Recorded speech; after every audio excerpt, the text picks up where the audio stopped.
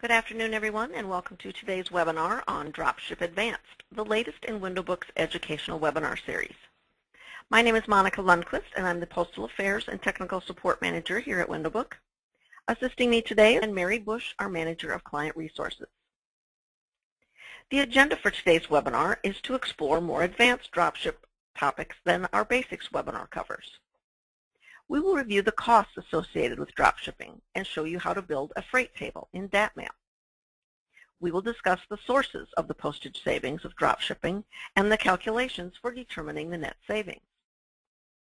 We will also discuss dropshipping to improve delivery or to control in-home date delivery. We will cover Priority Mail Open and Distribute, or PMOD, which is a great option for small dropship volumes or problem delivery areas. We will also provide an overview of co-services, which are used in conjunction with dropshipping to generate deeper postage discounts on selected mailings. We will also discuss making appointments for delivery of drop shipments and the Facility Access and Shipment Tracking System, or FAST. At that point, I will be turning over the presentation to Mary Bush, WindowBook's Manager of Client Resources, and she'll be giving us a live demonstration of DAT-MAIL Toolbox, which includes many advanced dropshipping functions.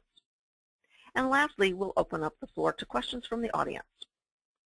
We will be just touching briefly on PMOD and FAST as we have separate webinars on both of those specific topics.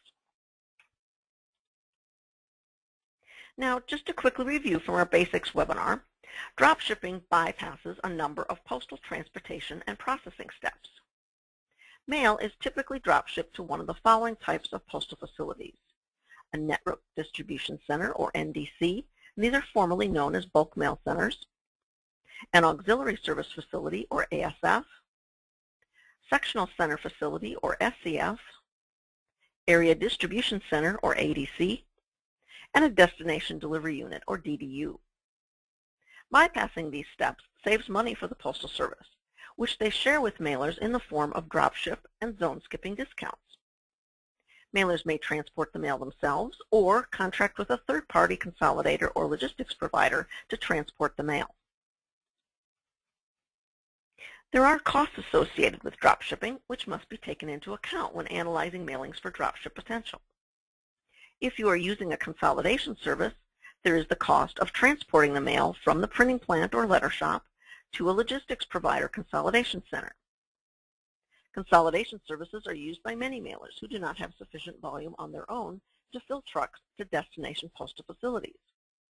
By combining the mail volume from numerous printers and letter shops, consolidators can optimize the filling of truckloads to these destinations, thereby keeping the costs down and spreading those costs among multiple printers or letter shops.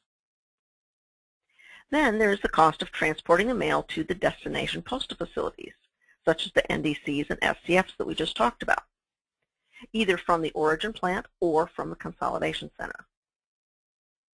There may be accessorial charges from the transportation provider. This is especially true if you are shipping to DDU facilities. These are often smaller post offices which may not have a dock door or a pallet jack. This may require a lift gate on the truck or a pallet jack to be transported along with the mail. DDU shipments also require the driver to assist with unloading the mail, which may be an additional charge. There may also be additional charges for smaller trucks if the destination postal facilities cannot accommodate larger semi-trucks. And as fuel prices have risen in recent years, most transportation companies now assess a fuel surcharge rather than trying to build in fluctuating fuel costs into their base rates. This charge is typically a percentage of the freight charges.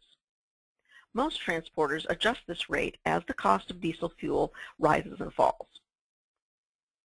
And lastly, there may be also administrative fees that are put in place by printers, letter shops, and consolidators.